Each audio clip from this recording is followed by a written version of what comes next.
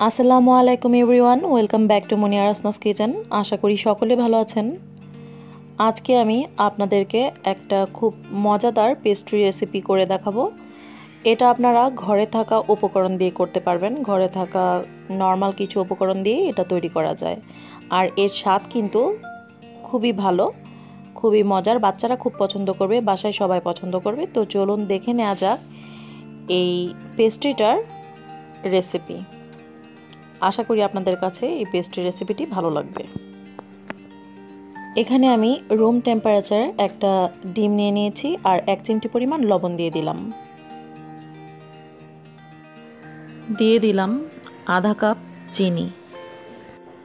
এখন ভালোভাবে এই ডিমটাকে একটু ফোম করে নেব। আমি কাটা চামচ দিয়ে ফোম করে নিয়েছি।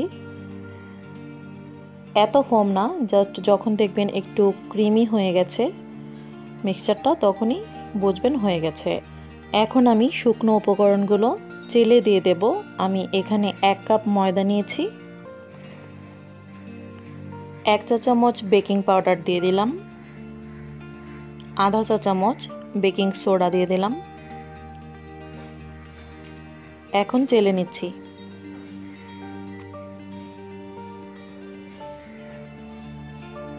চেলে নেওয়া হয়ে গেলে এই দানাগুলো ফেলে দিতে হবে। এখন ভালোভাবে মিশিয়ে নেব।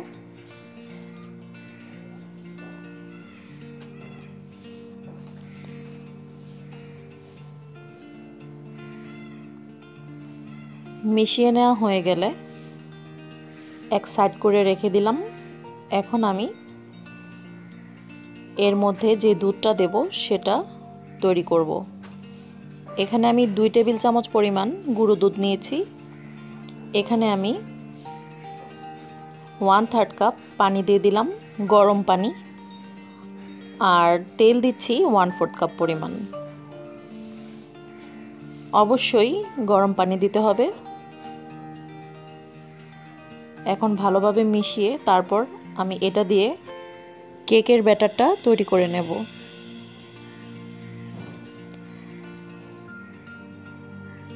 দুধটা দিয়ে দিলাম।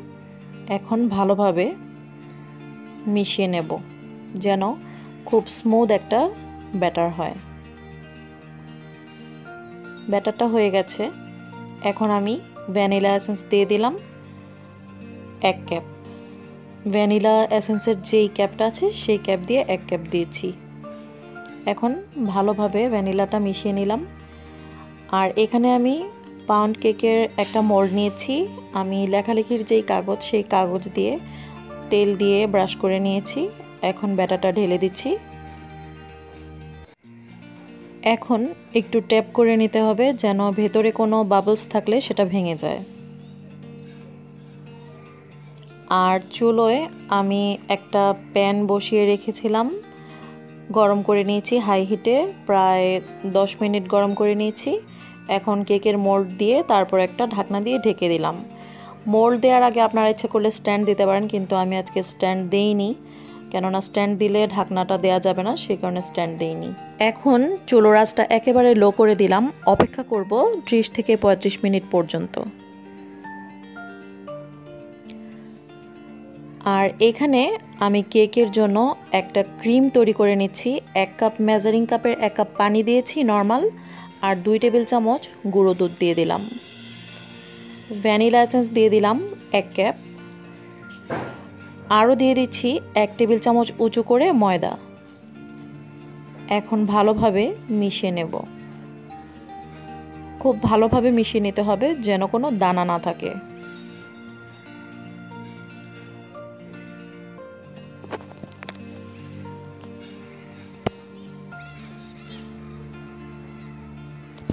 এখন আমি চুলোয় হাঁড়িটা বসিয়ে দিয়েছি আর অনবরত হুইস্ক দিয়ে নাড়তে থাকব। আর চুলোর আঁচটা থাকবে মিডিয়াম টু লো।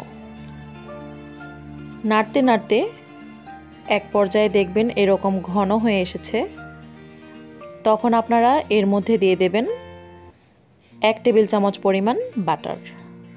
বাটার ঘরে না থাকলে এক টেবিল চামচ ঘি দিয়ে দেবেন। তাহলে ময়দার যেই গন্ধটা সেটাও চলে যাবে আর একটা সিল্কি স্মুথ ভাব চলে আসবে। আরও ঘন করে নেব।